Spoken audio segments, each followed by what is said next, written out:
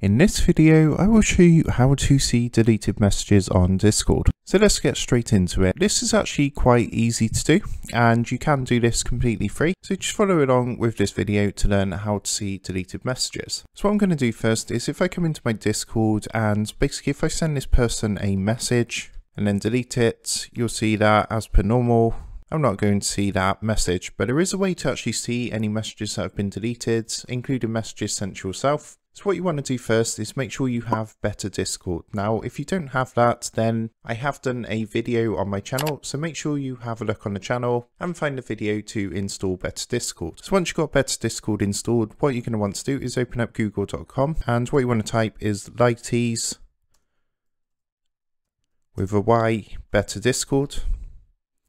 Then you want to click on this top one, the GitLab link. So you just want to click that to come across to a website that's going to look like this. And what you're going to do from here is actually look for this one which is called Message Logger version 2. And then what you want to do is just go ahead and click the download button underneath. So if it comes up with this, this is just my antivirus software. You just want to keep, keep um, I mean, it's completely safe to use. And once that's downloaded, what you want to do is give that a click to open it. And it's going to come up with a setup wizard like so. So you just want to click open and it's going to come up with a couple of pop-ups. So once you get to this pop-up here saying do you need some help, what you can do is just click yes here and what I'm going to do is add this plugin to your uh, Discord.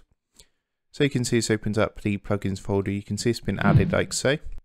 So now what we need to do is go back into Discord and enable this. So I'm just going to open up Discord. As you can see I'm using the Discord app, but if you do use the web-based application, the steps are exactly the same. So what you want to do from here is come down to the settings. So if you come to the bottom left hand corner, you want to click onto this little gear icon down here. Then what you want to do is scroll down this menu on the left hand side until you get to the very bottom, this better Discord section.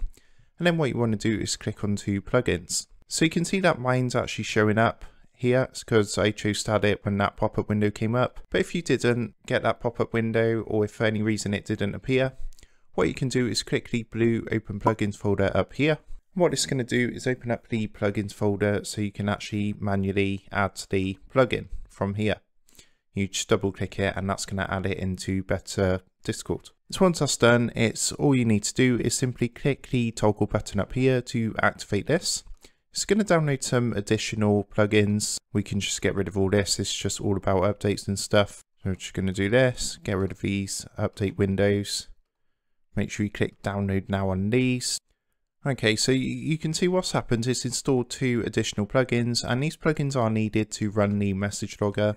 So what you want to do now is make sure all three of these are enabled. So these two additional plugins you want to enable as well, like so. And then what you can do is just come out of here. And then what we're going to do is send a message again.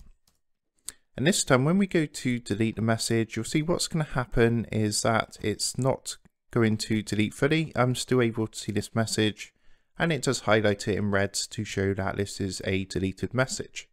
the same would apply if someone was to send you a message and it got deleted, you would see the message highlighted in red like so. So you can see again, I go to delete message, click delete, and it doesn't delete fully, it's still there, just highlighted in red. So I hope this video helped you out today and if this did help you out then please leave a like and be sure to subscribe to the channel for more awesome tutorials. And if you are looking for more tutorials, tips and tricks for Discord then be sure to click the on screen prompt. That's going to take you across to a current playlist of my current tutorials, tips and tricks for Discord. So I just want to take a minute, thank you for watching and with that being said I will see you guys in the next one.